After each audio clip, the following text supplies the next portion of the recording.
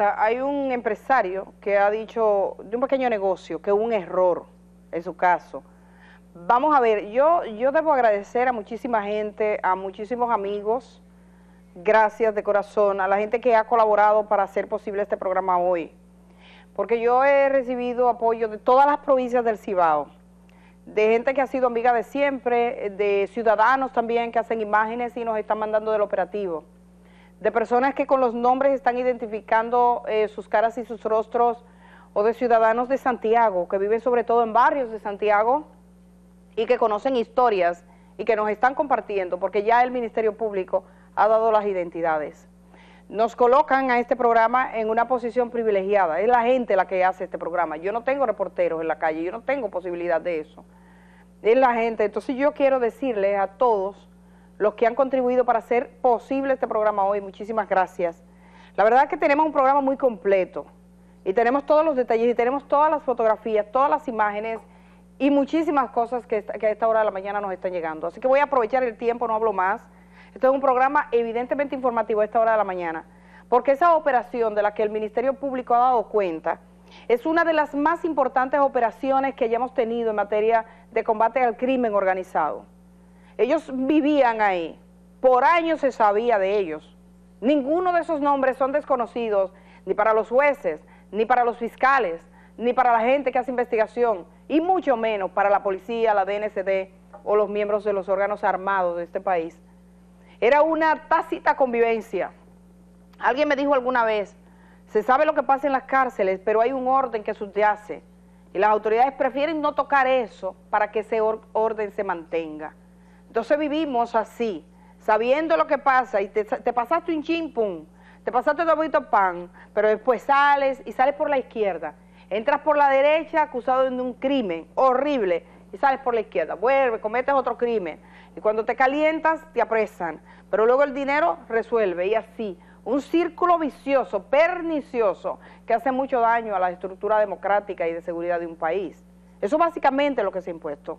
Ninguno de estos nombres son de primera vez. Nadie sale por primera vez a inaugurarse de este modo. Los nombres de las personas señaladas por el Ministerio Público de encabezar esta red, usted entre en Google y ponga sus nombres y ya verá.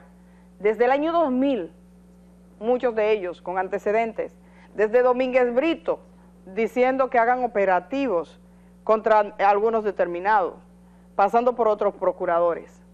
Sin embargo, la estructura estaba interna estaba ahí, estaba fuerte. Y eso al final ha traído las consecuencias de que amenazaran a la Procuradora General de la República, Miriam Germán, por el traslado de algunos presos, fechas claves. Ella dice, me dicen que traslado de su gente, yo no sé quiénes son su gente. Bueno, hubo una investigación y el Ministerio Público lo que ha tratado de determinar es quiénes son esa gente.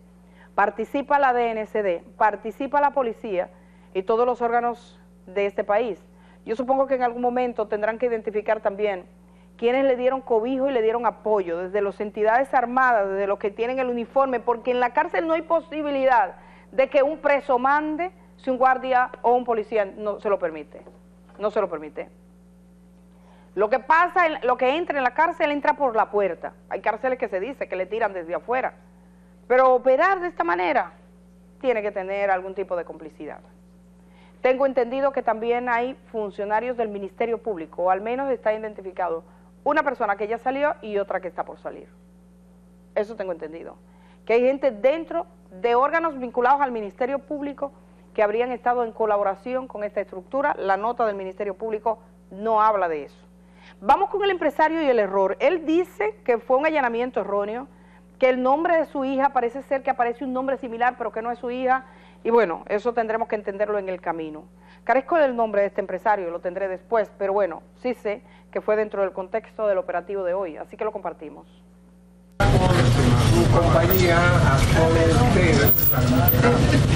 Nuestro negocio está siendo investigado, la y de investigaciones de lavado de activos, este lado también recibido, no representativo,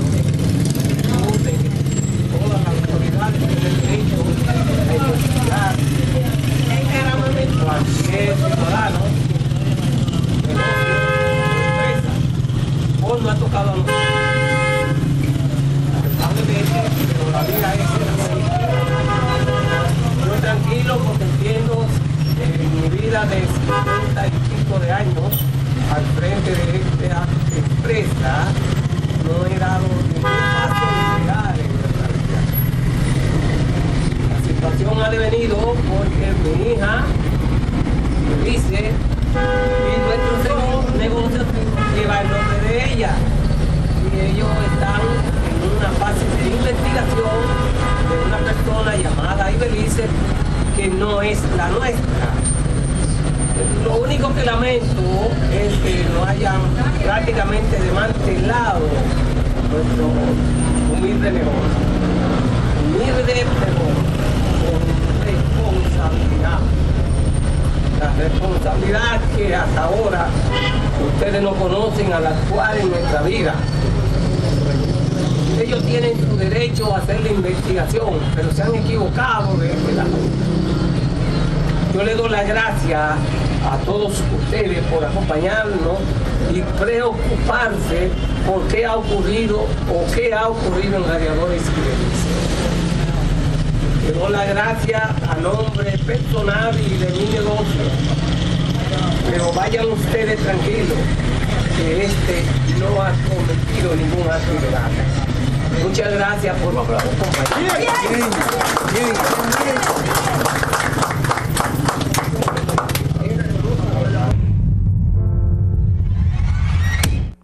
este empresario eh, o microempresario dice que hubo un error en su operativo. Tengo algunas imágenes más, vamos a ver, estaremos por ver eh, también algunas eh, antecedentes de nombres claves, de operativos hechos anteriormente contra algunos de los miembros de esta organización que han sido nombrados y citados por la Procuraduría General de la República. Detalles de esa doble identidad, ese pasaporte que le permitió a eh, la J viajar como ciudadano colombiano, siendo dominicano de Santiago, hasta eh, España, y allí se acreditó como dominicano. Entonces son dos identidades. También algunas identidades de otras personas que han sido parte, eh, digamos, de este proceso y que ahora están en investigación. La investigación, fíjense que pone a la cabeza, entre los que pone a la cabeza está un preso, una persona que está guardando prisión.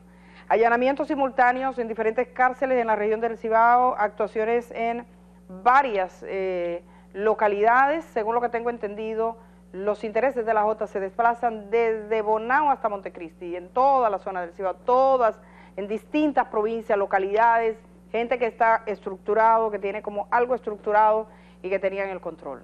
Recordemos que todo esto comienza con una amenaza directa a la Procuradora General de la República y básicamente a la integridad de su hijo. Hacemos un cambio, tenemos más en un día en el que esta es la principal noticia de la jornada.